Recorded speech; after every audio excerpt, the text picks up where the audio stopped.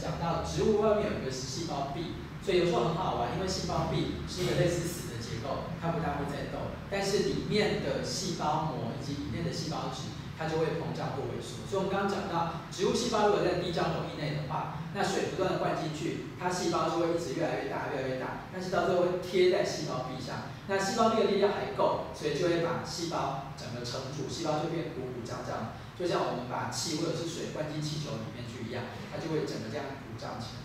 好，那相反的，如果植物细胞被放在高张溶液内呢，细胞壁不会动，但是里面的部分就会一直不断的。萎缩，在高张溶液内的话呢，其实它就会这个细胞壁没办法动，可是里面的细胞膜乃至于里面的细胞质，它里面的壁就会不断的往外渗透。所以我们假设这是一个啊一个植物细胞，对，然后呢，外面有细胞壁，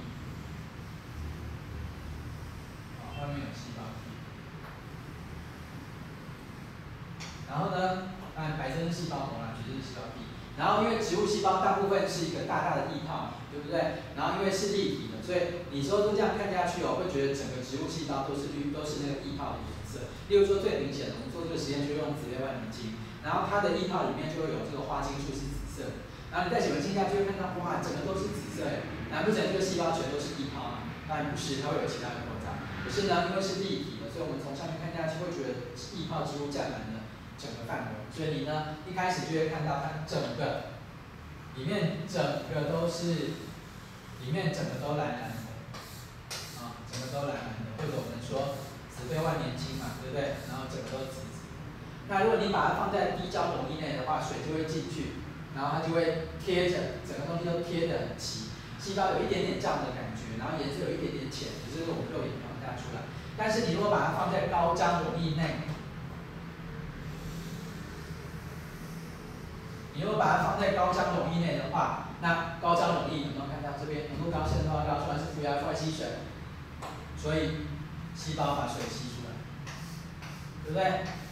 抱歉，外面环境的水把细胞里面的水吸出来，所以一直吸、一直吸、一直吸，它就一直缩、一直缩、一直缩、一直缩、一直缩，所以有时候很夸张，会缩到只剩下那种一点点，只剩下一点点在角落，好，只剩下一点点在角落。然后它的颜色就会很深，那这个我觉得就看得出来，这个颜色就会很深。好，那当我这样画太夸张了，所以我们不用画那么夸张啊，我们就画它缩一点点就好了，好不好？然后呢就会说，就会说这样，它就会说，就会缩，这样看得出来没有缩。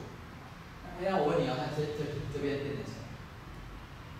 不不可能是真空啊，对不对？然后细胞壁。它其实是多孔的材质，所以这边就跟外面的容易是一样的意思。外面，其实刚刚有人听到声音吗？飞机飞过去的时候。好，不管了，那这几天都有，听不出来是什么。刚刚上课的时候听到像直升机的，不知道阿帕奇的是什么。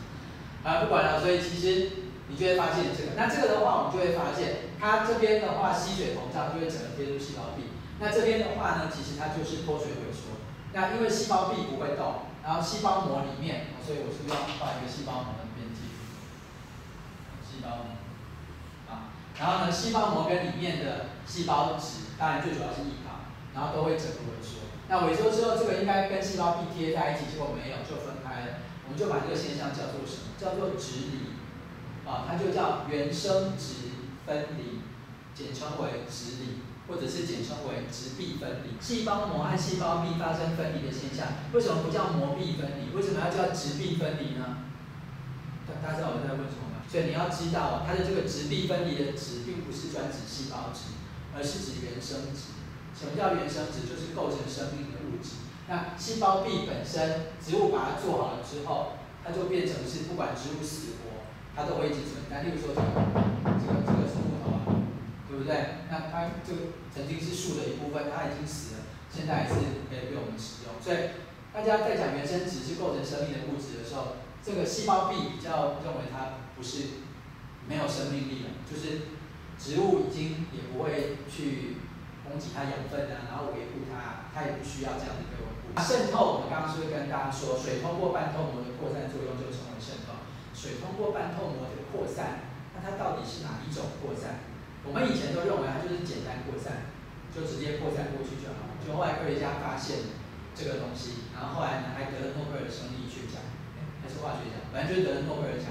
那你就不得不重视它的存在。所以呢，我们才说，虽然说科学家也没有全世界每个细胞都检验，但是至少都发现有些细胞上面是有运输蛋白的，然后让水来通过。所以如果水它通过细胞膜，并不是像氧跟二氧化碳直接挤过去，而是有一个蛋白质在帮它，那它就会变成是便利扩散，对不？过没关系，它是一种扩散，就是在细胞膜上有一个专门的运输蛋白。然后呢，它就是帮忙打一个洞，让专门让水过去哦，那个就叫水通。